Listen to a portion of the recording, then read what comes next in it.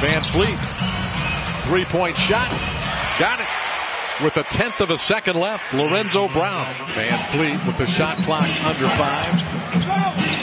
Brown is open out of the corner, makes another three. He had made two threes before tonight. He's made two in the first half. Harrison Harrell working the high screen. Six on the shot clock as Tobias Harris knocks down another one. Williams thinks about it from deep. Oh, and knocks it down. He's, he's not hesitating here. He's seeing if Markieff Morris is going to react. So that's what you're doing with the with the shot fake, with the ball fake there. And Markieff Morris sits in his stance. Jeter plus seven on the glass. Ellington, long three. Come on. That's 12 points in a row for Miami. The man with a golden arm. Yes. That used to be the problem with rookies coming into the league. And the foul. Chance for a four-point play. From behind the arc.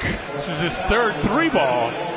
That was a high dribble, got away with the straight on with the switch. The opening period. They only average nine threes a game. Oh, Stauskas. Oh, Stauskas banks it in at the buzzer. The Knicks didn't really put any pressure on. What you just saw, Burke out of Michigan, Stauskas out of Michigan returns their favor. Rolled out. Too much backspin.